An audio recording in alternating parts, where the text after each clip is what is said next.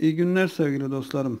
Bugün sizlere telefon ile dürbünden kamera kaydı yapabileceğimiz bir aparat yapacağız.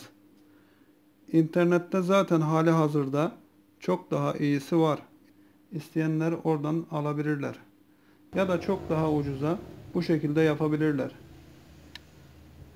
Atışlarımızı yaparken dürbünümüz ayarsız o yüzden bu şekilde atış yapmaya devam ettim. Ee, dürbünümü ben daha sonra tekrardan sıfırlama yapacağım tabii ki.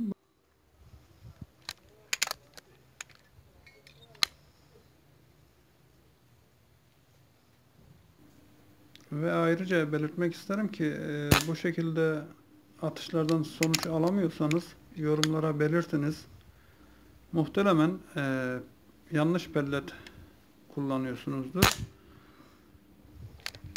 Ben e, PCP'yi yeni aldım ve bu işe ilk etapta orta segment bir dürbün ile başladım. Dürbünün ölçüleri ise e, 4.16 çarpı 50 ölçülerinde bir dürbün. E, fiyatı 850 TL ve benim gibi yeni başlayanlar e, olursa bu önerilerini ve tavsiyelerini bekliyorum. Bu şekilde birbirimize katkı olacağımızdan eminim. Gördüğünüz gibi internet üzerinde şu anki fiyatı 7 lira.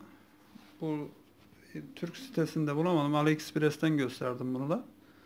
Ve malzememizi bu şekilde penseyle eğiyoruz. Bu şekilde iki kademeden eğin ki e, esneklik payı olsun biraz.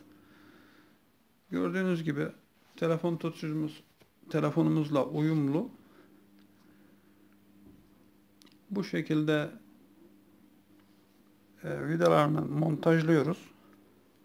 Çok basit bir şekilde yani e, bunu sadece eğerken bir e, dikkat ediyoruz. Kamera açısına her telefon bir olmadığı için kamera açısına göre eğmemiz gerekiyor.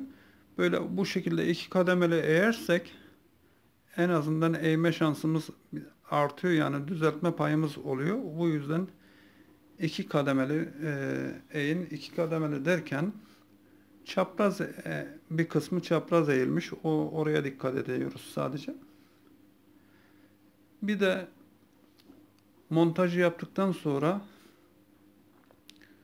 e, kamerayı dürbüne adapte ediyoruz. Yani tam göz seviyesine ayarladıktan sonra görüşü alabiliyoruz. Yoksa artıkılı göremeyiz.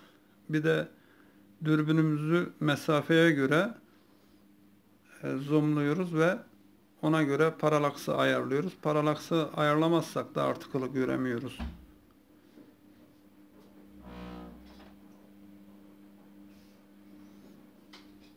Evet bu şekilde taktık telefonumuzu.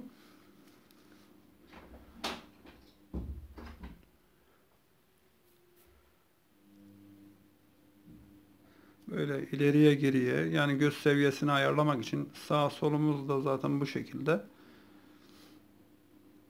Evet sağ sol bu şekilde. Çapraz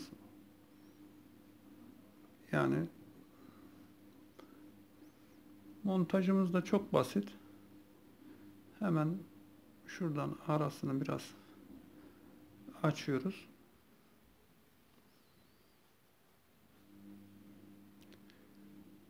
Aslında internet sitelerinde çok güzel olanları var. Bu şekilde ateş etmek gerçekten biraz zor oluyor. Bu şekilde telefonla e, yukarıdan aşağıya ateş edebiliyoruz. Yani yukarıya doğru ateş etmek için e, sıkıntılar gösteriyor, sıkıntı oluyor. Yani demek istediğimi zaten anlarsınız. Zaten bu işlemi yapıp fazla kullanmak istemeyeceksiniz zaten. Ee, birkaç defa kullandıktan sonra ister istemez insan bakıyor. Yani onunla sürekli uğraşmak sıkıntı oluyor. Onu da belirteyim. Ama herkesin aklındaki soru bu oluyor nedense. Benim olduğu gibi. Yani nispeten bu şekilde çok uygun fiyata bu şekilde mal edebiliriz. Ama daha profesyonel alırsanız yani var yani göz açısından bakma. İşte bunu demek istemiştim ben. Parallaksımızı ayarlamamız gerekiyor. Zoom'u ayarlamak gerekiyor. Artıkılı göremiyoruz yoksa. Bir de telefonumuzu adaptasyon e, yani nasıl desem telefona yakın e, merci, e, dürbüne yakın olduğu için ufak bir sıkıntılar olabilir ama ayarladıktan sonra her istediğimiz şekilde artıkılı görebiliyoruz. Biraz bulanık oluyorsa paralaksımızı ayarlayarak bu sorunu da giderebiliyoruz. Her şey gönlünüzce olsun. İyi akşamlar, iyi günler dilerim.